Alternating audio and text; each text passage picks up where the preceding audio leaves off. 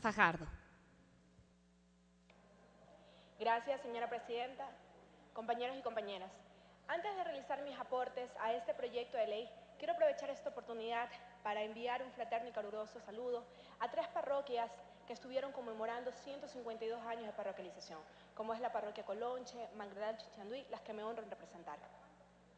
La minería en el Ecuador aún se encuentra en una etapa de exploración y su desarrollo dependerá de las políticas públicas que se le dé.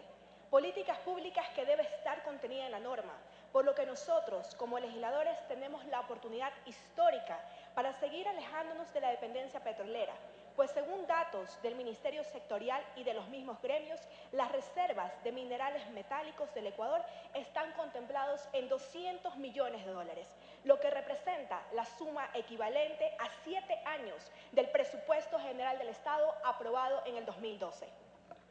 Respeto mucho a quienes consideran de que este, este proyecto no debería haber sido considerado en materia económica urgente, pero no comparto esta posición, pues creo que algunos han desinformado nuestros pueblos y comunidades diciéndole que esta reforma viola el artículo 57 del numeral 7 de la Constitución, donde se reconoce y garantiza la consulta previa sobre planes y programas de prospección, explotación y comercialización de recursos no renovables que se encuentren en sus tierras y que pueda afectarles ambiental o culturalmente.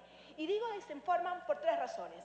Primero, el proyecto versa sobre materia tributaria, administrativa y sancionatoria.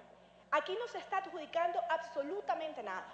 Segundo, en ninguna parte del proyecto se reforma o se elimina una letra del capítulo tercero del título quinto de la ley minera vigente donde se menciona la gestión social y participación de la comunidad. Y para citar ejemplos, en el artículo 89 se expresa, la participación ciudadana es el proceso que tiene como finalidad considerar e incorporar los criterios de la comunidad a la gestión social y ambiental del proyecto minero. Dicho, proceso deberá llevarse a cabo en todas las fases de la actividad minero, en el marco de los procedimientos y mecanismos establecidos en la Constitución y en la ley. La primera parte del artículo 90 señala, los procesos de participación ciudadana o consulta deberán considerarse dentro del procedimiento especial obligatorio a las comunidades, pueblos y nacionalidades, partiendo del principio de legitimidad y representatividad. Como podemos notar, en todas las instancias se sigue contando con la participación social y consulta a los pueblos y nacionalidades.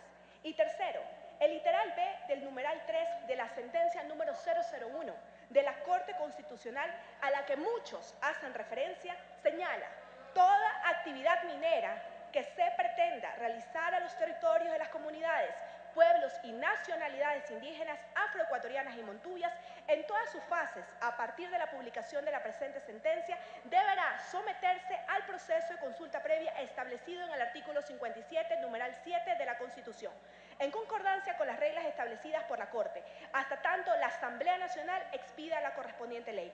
En este proyecto no se trata del desarrollo de la actividad minera o concesiones en un territorio específico, sino como lo mencioné en el primer punto, se trata de reformas de índole administrativo, tributario y sancionatorio. Y jamás se ha desprovisto a los pueblos y nacionalidades de las herramientas de información y consulta. Por ende, no viola derechos objetivos como lo quieren hacer creer. En cuanto a los aportes y como parte como miembro de la Comisión de Régimen Económico Tributario, participamos activamente dentro del debate. Le interrumpo, asambleísta Fajardo. Asambleísta Aguilar, le voy a dar punto de orden cuando concluya la asambleísta Fajardo. En el artículo 10 del proyecto que sustituye el artículo 57 establece las sanciones minera. En este artículo indica que los bienes, maquinarias, equipos, insumos y vehículos sean utilizados en actividades ilegales o no autorizadas de explotación, beneficio o procesamiento, fundición, refinación y comercialización clandestina de sustancias minerales serán objeto de decomiso especial, incautación, inmovilización, destrucción, demolición, inutilización o neutralización según el caso que ejecute la Agencia de Regulación y Control Minero, contando con la colaboración de la Fiscalía y el auxilio de las Fuerzas Armadas y la Policía Nacional. La destrucción será a criterio del fiscal cuando sea imposible tomar otras medidas. Este artículo fue uno de los artículos más controversiales analizados dentro de la comisión y recuerdo que manifesté que en virtud del derecho de la propiedad privada se debe tener en consideración que la destrucción debe excepcional, por lo que mi sugerencia fue recogida, pero no concuerdo en la parte de que la destrucción se hará a criterio del fiscal pues estamos frente a intereses económicos muy grandes, por lo que sugiero que se elimine a criterio y más bien se indique que la destrucción será cuando se imposibilite tomar otras medidas. Parece solo una cuestión gramatical, pero es, es cerrar la posibilidad de que esto quede para el libre albedrío.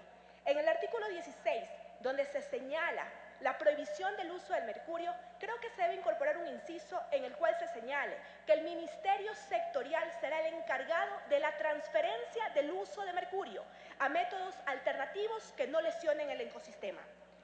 También sugiero incorporar dos transitorias en las que se le otorgue los plazos al ministerio sectorial para regularizar a los mineros artesanales que se encuentren en proceso de regularización y levantar un censo real de la actividad minera en el Ecuador. Para lo primero, el texto podría indicar en un plazo máximo de 90 días a partir de la promulgación de la presente ley. El Ministerio Sectorial deberá regular a los mineros artesanales que hayan sido acogidos en los parámetros de la disposición transitoria octava de la ley minera vigente y que aún no cuente con los permisos de operación. Y el texto de la segunda propuesta podría indicar que el Ministerio Sectorial, en el plazo máximo de 120 días a partir de la publicación en el registro oficial de la presente ley, realice un censo con la finalidad de actualizar los datos de la actividad minera en el Ecuador. Estas han sido mis aportaciones. Gracias, compañeros y compañeras.